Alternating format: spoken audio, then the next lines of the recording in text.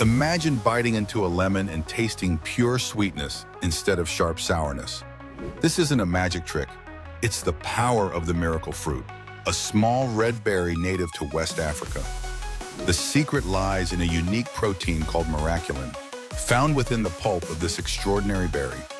When you eat miracle fruit, miraculin binds to your taste buds, but initially you might notice no change at all. The real transformation begins when you consume something acidic, like a slice of lime or a splash of vinegar. Miraculin interacts with the acid and alters the signals sent to your brain, making sour foods taste remarkably sweet and pleasant.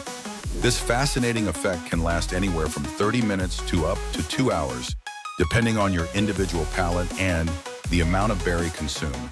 Scientists believe this natural adaptation originally helped locals enjoy otherwise unpalatable or sour foods in their environment. Today, chefs and food enthusiasts use miracle fruit for taste-tripping experiences, pushing the boundaries of flavor and sensation.